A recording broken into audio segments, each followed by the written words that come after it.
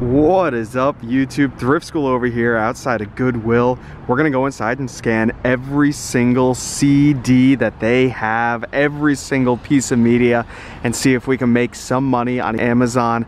I got myself one of these Opticon Bluetooth scanners connected to my phone off of eBay and I have a free trial of, I believe it's called Scoutly. I'm not 100% sure to uh, download a database since this Goodwill has zero service inside. So I have a free database that I could scan offline in and we'll see if uh, it helps speed up the process. See what we find. All right, we need a cart, one that preferably works. Uh, this one kind of works. I feel like all the carts at every Goodwill always have problems. Where are the CDs at?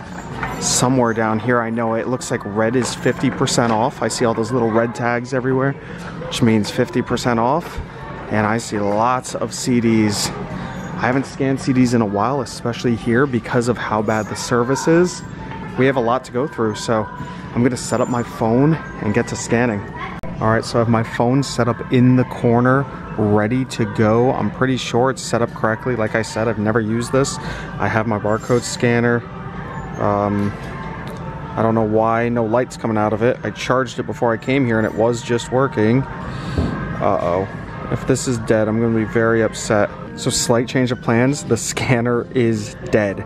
Uh, did not expect that, but luckily this app has a built-in scanner. So we're just to have to use that for every single one of these CDs. It's to add time, but that's okay. We'll hit the little scanner and let's see how it works. We'll hit up that right there. There we go. So it tells you exactly how much profit you're gonna make. You click 41 cents on a 665 sale. Not great, especially when it costs $1. So we're gonna leave that behind. So I'm just gonna use this app. Uh, it says I have full service in here, but I know for a fact I don't. Because whenever I scan things, it takes forever for this to load up. So I'm gonna start from here and go down and you guys will see when uh, I find the first winner. All right, so we found our first winner. You can see the little stack right here, slightly depleted. It is a Christmas CD, so that makes sense. It's right around Christmas time.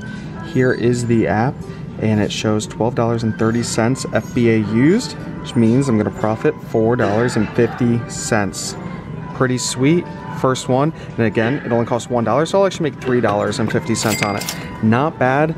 We will have a running tally and see how much money there's sitting on this shelf. All right, so the first row of CDs has been completely gone through scanning with this app. And guys, we actually have been finding a decent amount of stuff. We have four here. You guys saw the first one. I'll pop up prices in the corner of the screen there so you could see this Victor Victoria, how much money I'll make on that.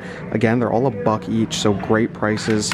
An American Idol uh, Holiday Classics, again, makes sense. It's jacked up right now. Christmas is right around the corner. These prices are all inflated. Got to get them shipped off as soon as possible. And then Nickelback. Yeah, okay, Nickelback's still hot, so pretty good. Uh, first stack done, and we have a lot to go. All right, guys, so we had just finished the second row completely, and we found one winner on that entire row selling used FBA for $26, meaning I'll make 1720 but I'm not actually probably gonna list it for that this CD right here. You can see merchants are coming in as low as seven dollars where you'd only make 89 cents. 26 seems a little inflated. I think it's closer to a $15 sale. Uh, so you'll still make some pretty decent money on it. I'm definitely gonna grab it in the cart it goes Alright, so the third row has been completely gone through and this app is making scanning so much faster and easier. I'll show you guys exactly what I did. This one right here I'm to end up grabbing. It's only a dollar. I think even the double disc ones are all a dollar, so that's helpful. Scan it in and you can see right here it has a bit of a high rank, 444,000, meaning eh, it's to take a while to sell, but it's selling for 40 bucks. I'm okay with things that take a while to sell for 40 bucks. Also, I noticed there are no FBA sellers. A lot of times when there's no FBA sellers, items take longer to sell. If I send this into Amazon for maybe 25 or 30 bucks, I think it'll sell in a month and I will profit probably not 26, probably closer to 20 on it, which is great. I'm definitely gonna snag that. And these last two right here, same sort of deal we have this sort of obscure classical CD right here, and when we scan it in you guys can see the rank is super high, 546,000, uh, but there are FBA sellers, especially selling it new, none selling it used. Maybe if I priced it at about 15 bucks or so, it'll sell. But with a rank of over half a million, it's just too high. I'm, I'm not gonna mess with that, that could stay. And then Creed, uh, Creed has gotten more popular lately, so I had a feeling this one might be worth a little something. And here it is, selling for only $9.56, but it sells pretty fast. I'll double my money. I'll make a buck on it. I could probably price it a little bit higher than nine bucks and maybe make two or three dollars on it. I'm gonna grab it. Why not? All right, so now I'm gonna do rows four and five, and you guys will see if I find anything good there.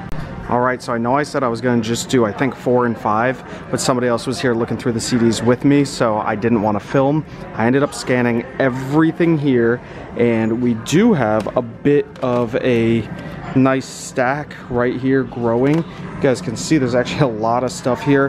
Hopefully I kept a running tally as I uh, am talking right now. And you guys can see how much money there is potential in here.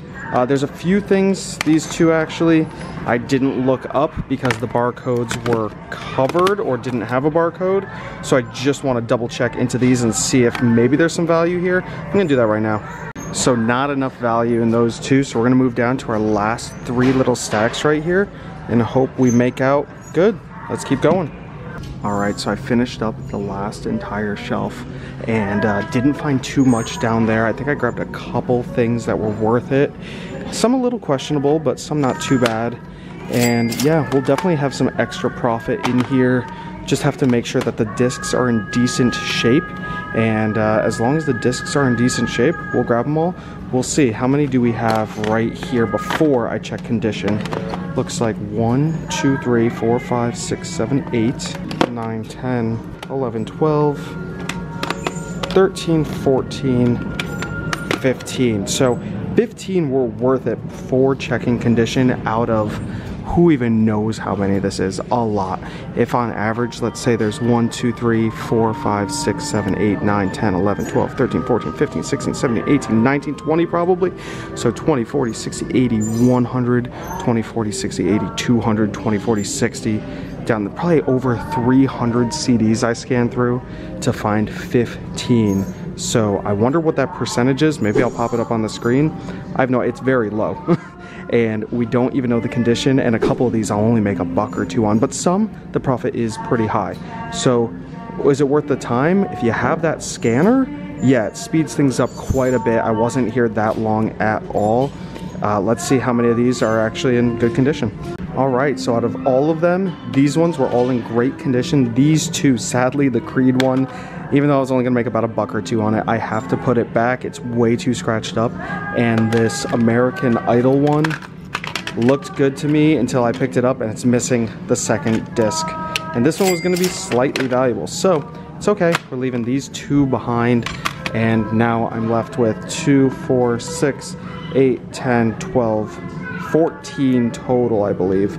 So, hey, I'll take it, 14 of them, and I'll put the updated price up here. I might have never done a running tally because of how uh, complicated it was with putting things back, bringing things back out, ranks, and all that crazy stuff. You guys could at least see how much money I made right here. Was it worth it? I hope so. I actually don't know what my running total is. Again, it took me maybe 20 to 30 minutes to go through all of them and then to send them into Amazon maybe another 20 minutes. So I'm gonna be into these less than one hour. So whatever you guys see on the screen is how much money I made in about an hour's worth of work. Now, of course, you don't get that all in an hour. You have to wait for things to sell. But once it's shipped in, you pretty much invest no more work into it. So it is kind of an hourly rate. I'll take it. All right, what have they got in the glass case? Nothing besides me. Hi. Bye.